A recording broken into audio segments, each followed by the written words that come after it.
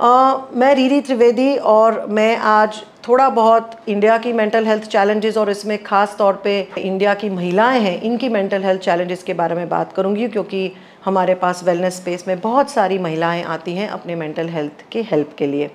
तो पहले तो इंडिया में मेंटल हेल्थ का बर्डन बहुत ही ज़्यादा बढ़ रहा है और डब्ल्यूएचओ के हिसाब से सात में से एक जन को इंडिया में मेंटल हेल्थ का प्रॉब्लम है। मतलब प्रतिशत एक फैमिली में एक जन को तो मेंटल हेल्थ का चैलेंज होगा ही होगा। और इंडिया में जो आज मेंटल हेल्थ सर्विसेज़ प्रोवाइडर्स हैं, जैसे साइकोलॉजिस्ट है साइकेट्रिस्ट है, इनकी भी संख्या बहुत कम है।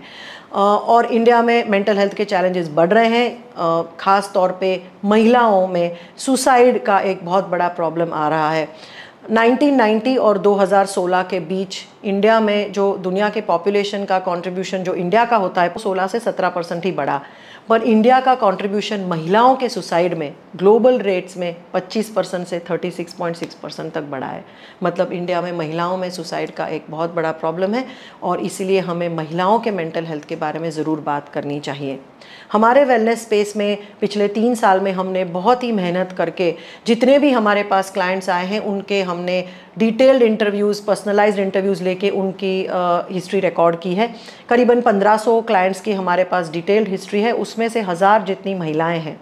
और ये हज़ार महिलाओं की हमने ऑलमोस्ट तीस अलग अलग पैरामीटर्स से हमने असेसमेंट्स की हुई हैं। हमारे पास जितनी महिलाएँ आई हैं मेंटल हेल्थ के लिए, उसमें 45 परसेंट महिलाएँ एनजाइटी के साथ आई हैं और करीबन 56 परसेंट महिलाएँ डिप्रेशन के साथ आई हैं। 57 परसेंट महिलाएँ आत्महत्या का विचार किया है या अटेम्प्ट भी किया है। और बहुत सारी महिलाएँ इनमें से ईटिंग डिसऑर्डर्स के साथ आती हैं, उनको ओबेसिटी वेट का इश्यूज़ रहता है और रिलेशनशिप इश्यूज़ भी रहे हैं। हर तीन में से एक महिला का चाइल्डहुड ट्रॉमा स्कोर बहुत ज़्यादा है। चाइल्डहुड ट्रॉमा मतलब बचपन के प्रतिकूल अनुभव।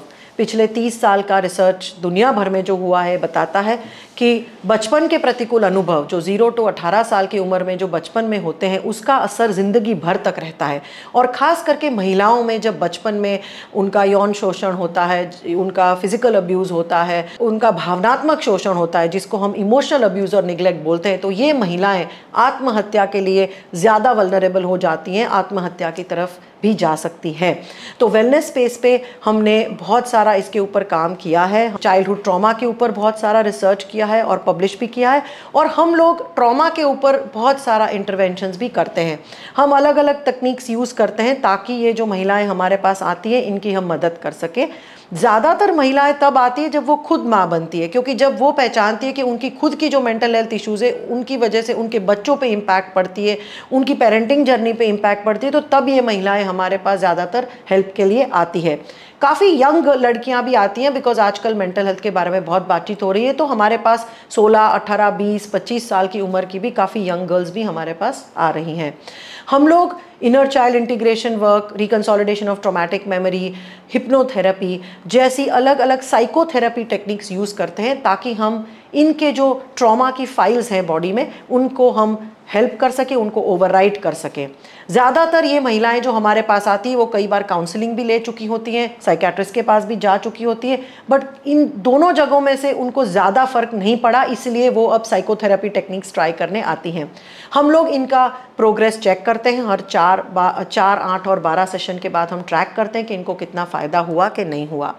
हम लोग जो साइकोथेरेपी टेक्निक्स यूज़ करते हैं, वो हम इनके जो प्रॉब्लम है, जैसे anxiety depression suicide behaviour trauma ये प्रॉब्लम के हम मूल कारण के ऊपर काम करते हैं। ये जो हम प्रॉब्लम्स देख रहे हैं, हमारे हिसाब से ये प्रॉब्लम जो बाहर दिखते हैं, वो प्रॉब्लम नहीं है।